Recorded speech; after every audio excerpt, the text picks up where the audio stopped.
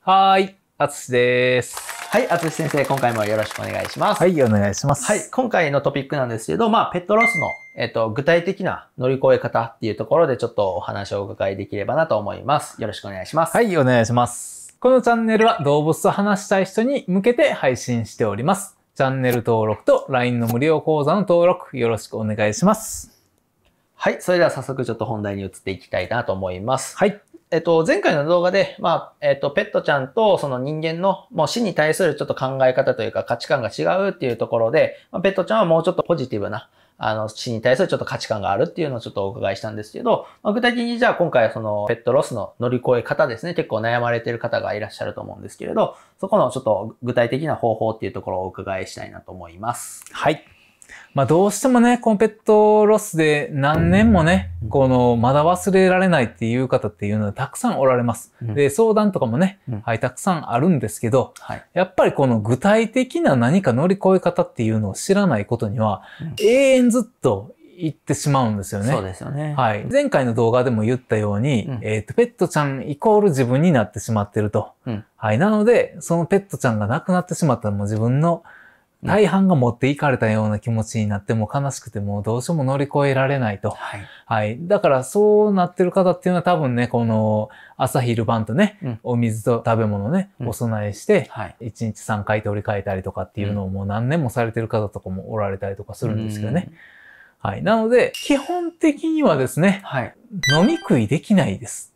あ、ペットちゃんは死んだ後は。はい。あ、でそうなんですね。ペットちゃんに聞きました。ですよね。うんペットちゃんと僕は3割ぐらい、えっ、と、亡くなった子の依頼がうん入ってくるので、亡くなったこともよくお話をするんですけど、うんうんえ食べ物があったとしても見向きもしないんですよね。あ、そうなんですね。なので、ペットちゃん、亡くなったペットちゃんっていうのは、うん食べ物で喜ぶわけではないっていうのだけちょっと覚えておいてほしいなと思うんですね。でも自分がやりたいんであれば、はいやってください。なるほど。はいやるなって言ってるわけじゃないです。はい。はい。それが習慣になってね、うんはい。それをすることによって、なんかこの自分の気が済むんであれば、はい。ぜひやってください。はい。なんですが、基本的には、その亡くなった後、うんすぐに何かこの備えるっていうのは、僕的にはいらないんじゃないかな。と思うんですよはいはい。亡くなったペットちゃんに必要なものっていうのは、はい。言葉。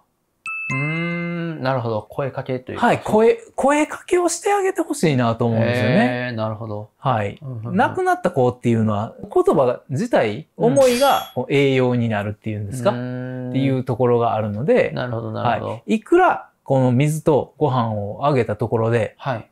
ペットちゃんが満たされないわけなんですよ。なるほど。それをお供えされてて、あ、自分にはそういう目線を向けてくれてるっていう思いは伝わりますよ。それ見たらね。はいうんうんうんだって、その行動自体を見て、あ、うんまだ愛されてるんだなっていうのは思うんですけど、はい。いっつも泣いてたら、うんうんうん。それ自体が悲しいわけああ、なんなるほど。前回のね、動画でもちょっとお伝えしてましたけどね、飼い主さんが悲しんでる姿っていうので、なかなかいけない。です。いけない、そうです、そうでねす。っていうので、まあじゃあその、ペットちゃんを、まあ安らかにこう言ってもらうためには、やっぱりその自分が元気になってる姿をペットちゃんに見せることが大事ってことですよね。はい。これはね、最初、フェイクでいいです。うん、なるほど。まあ確かになかなかね、きパッと切り替えられない。そう、そんなの、無理ですよね。そんな好きな子が死んで、はい。ね、うん今までずーっと、ね、何年間も一緒に暮らしてて、うんいきなりは無理なんですよ。それは無理ですね。なので、最初はフェイクうん。でいいので、うん。えー、ちょっと笑顔を見せてあげるとかね。うんうんう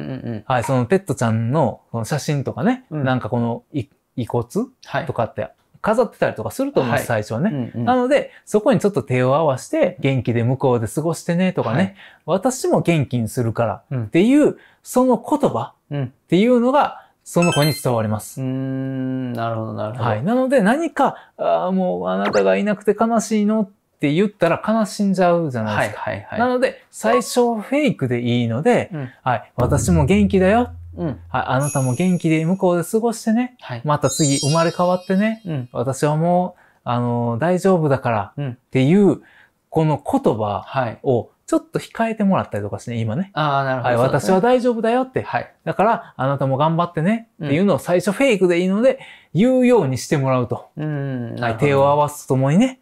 はい。それをしっかりと毎日言うはい。水とご飯の代わりに、代わりにペットちゃんに言葉の栄養をあげるっていう意味合いで、うんご飯を備えてるんであれば、うん朝昼晩ね、言葉のプレゼントはい。をしてあげるっていう意味合いで、うん悲しいですよ。